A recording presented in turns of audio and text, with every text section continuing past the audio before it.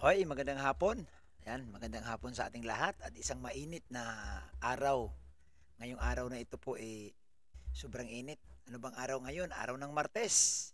Hoy, palakpakan po muna natin yung ating mga kababayan diyan na handang nanonood, nagsishare at ah, siyempre nagbabasa at nakikimarites. Ayan, so dahil mainit ang panahon, nako, umulan. Yan, Umulan. Ayan o, umulan ng kulay. Grabe. Oh.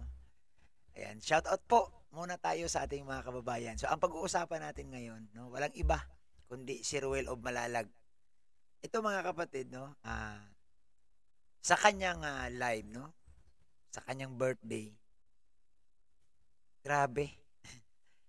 Umulan po ng palipad. Umulan ng kulay. Kung sino-sino na lang. Alam niyo po ba kung magkano ang inabot? Ah, sige nga, kung alam niyo po mga ah, viewers, i-comment niyo dyan sa baba kung magkano ang nalikom ni Dudong sa mga nagpadala ng pagmamahal no? sa palipad. Sobra, ang dami. Parang hindi mo na mabasa eh, no? Mamimili ka na lang, pula, yellow, orange. eh, ito pa namang kulay na ito, ito yung mga paborito talaga. Paborito ng mga vloggers.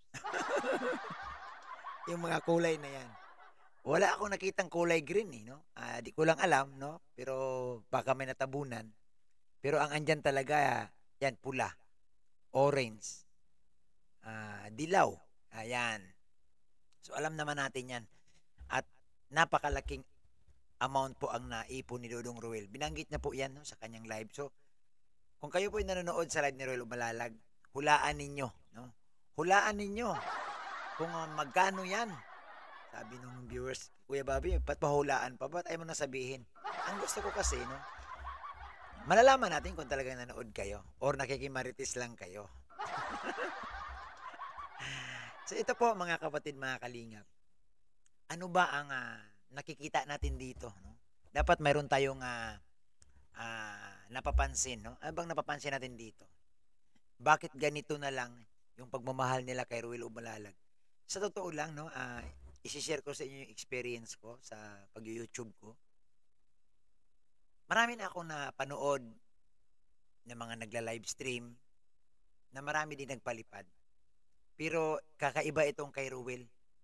Kasi ang kay Ruel po, bawat live ni Ruel, hindi nawawala yung pakulay.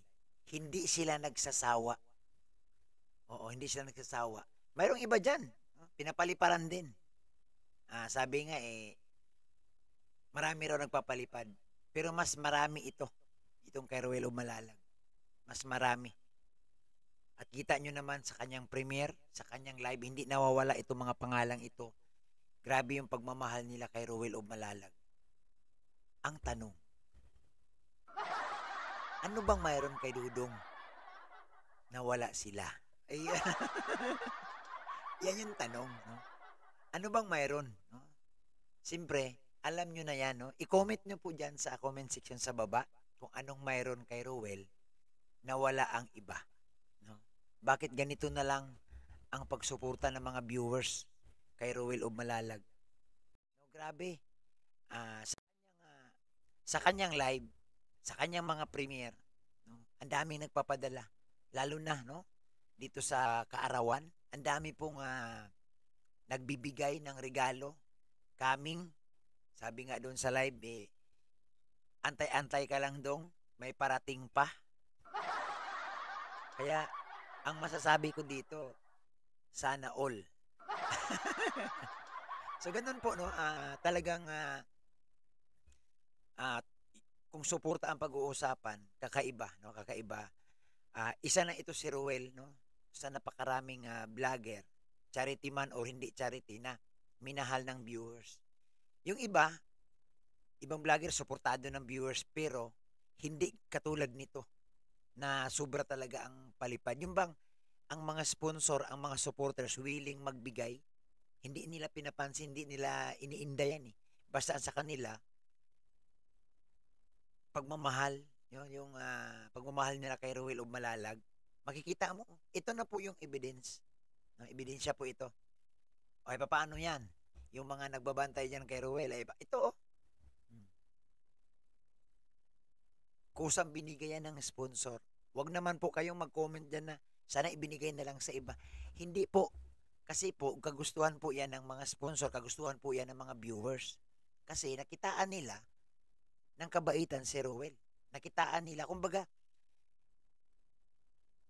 ang pagbibigay nila may kasamang saya eh. Kasi natutuwa sila sa mga ginagawa ni Ruel. At ngayon lang ako nakakapanood or nakakakita ng ganito, ganitong charity vlogger na sobra ang pagmamahal ng mga viewers. Ngayon pa lang. Siyempre, isa na dyan ang nagmamahal, ang isa dyan na minahal ng mga viewers din. Walang iba kundi si Kuya Bal at si Kalinga Prab. Pangatlo itong si Dudong. No? Pero grabe ang palipad, no? Grabe ang palipad ni Ruel Umalalag talaga. At saka sa sponsor, talagang napakarami. Sa pabahay ni Ruel, ang dami pong tumulong. No? Makita mo doon yung listahan ni Ruel. Ang dami. Ang dami. Kaya po, sa totoo lang, hindi malayo. Kaingitan talaga si Ruel Umalalag. Ibabas talaga si Dodo.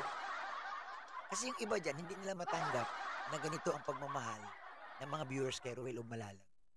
Sana lang, no? Sana lang itong uh, live ni Ruel, itong natanggap ni Ruel na blessings. Sana lang, hindi kaingitan ng iba. Maliban pa dito, doon sa uh, natanggap ni Ruel yung uh, bouquet ng uh, pera, no, yung parang bulaklak. Ay grabe, sobrang laki. Nas kulang-kulang 100,000 yata 'yun. Hindi ako nagkakamali, no. Uh, pero napakalaking halaga. Idagdag mo pa itong palipad. Idagdag mo pa yung premiere niya. Idagdag mo pa yung live niya. Nandyan lahat. Ang dami po talaga. Kaya nga sabi ko, kakaiba itong Ruel. At ngayon lang ako nakakita ng uh, charity vlogger na minahal talaga ng tao at tudo suporta. Willing gumastos ang mga sponsor. Willing magsunog uh, ng pera ang mga sponsor, ang mga supporters para sa kanya. Oo. Minahal nila si, si Ruel Umalalag kasama ang pamilya ni Ruel, minahal nila. Ito maganda itong halimbawa, no? Ano ba ang pinapakita ni Ruel? wala naman siyang ibang kakaiba, eh, no? Siya, siya isang charity vlogger. Ang kaibahan lang siguro kay Rowell, talagang naging totoo siya, no? Ah, hindi siya nagtatago sa anino, no? Transparent siguro ang pinakita ni Rowell at talagang totoo. Kaya nagustuhan siya ng mga tao. Nagustuhan siya ng mga viewers, lalo na yung mga OFW. Nabaitan sa kanya So, na, yung iba nabaitan sa kanya, yung iba nagwapuhan sa kanya. Ano pa? Yung iba nakwitan sa kanya. Kaya hindi malayo, no, hindi malayo. Marami ang magkakagusto kay Dudong. Oy, shout out sa iyo dong ha. Kumusta ka diyan? Marami, no? So, maraming salamat po no sa mga viewers. Pasalamatan ko lang yung mga viewers, yung mga subscribers, yung mga pangalan nandiyan na nagpalipad, no? tulad sila Ma'am Ana Hanley, Ma'am Inuma, yan, Ma'am Livy, Ma'am Sir Francis, Ma'am Ilis. Ang dami pa niya, no? At marami pa yan. Kakaiba, no? Kakaiba. Anong karisma mayroon si Ruel Umalalag? O comment na kayo sa baba. Ang tanong ko, ano bang uh, karisma mayroon si Ruel? Bakit ganito na lang? No, ganito na lang ang pagsuporta. Alam niyo po sa totoo lang, hindi madali kitain ang pera sa abroad. Mahirap din. Pero kita nyo naman yung mga OFW natin. Talagang uh, ibinibigay nila ng todo kay Ruel Malalag. So maraming salamat. Yan lang po ang ating uh, maiksing reaction. At comment kayo dyan. At saka pa-share po ang video ito no, sa ating mga viewers, sa ating mga kababayan. Maraming maraming salamat po. God bless sa ating lahat.